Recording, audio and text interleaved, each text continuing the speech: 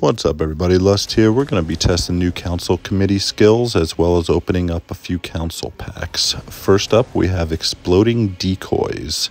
We're going to see how much damage they do. You can also see this benefit active in your council benefits. And we're going to check out the mill. reason I chose it is because it cannot be affected by any tower stats. So we get a more accurate testing. We're going to look at this uh, friendly that I put up.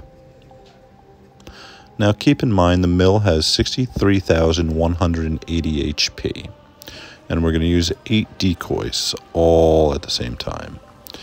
Now if you divide 63,180 by 8, it should equal 7,897 damage to destroy it. It does not which means that each decoy does less than that. It probably does around 7,500 damage. Decent, but not impressive. Next, we have Protect. Normal duration is 21 seconds. We're going to head over to the council building here. You'll see I have all epics for that as well. And it increases the duration by 22%.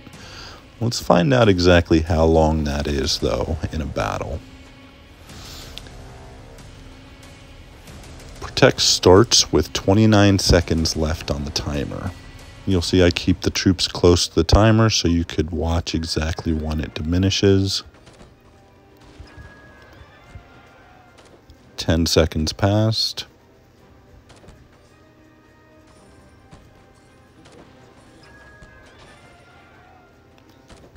Twenty, twenty-one, twenty-two, twenty-three, and 24. It's about a 23.5 second protect, which means it's only been increased by 2.5 seconds.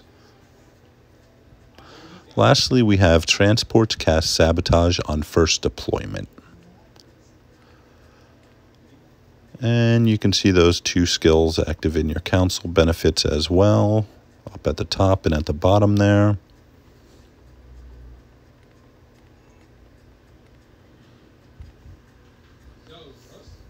In this friendly, you're going to see I put it at two locations. One's going to be with two buildings nearby each other, and the other one's going to be just the fort. You'll also notice Sabo doesn't take effect until the Paros start dropping down.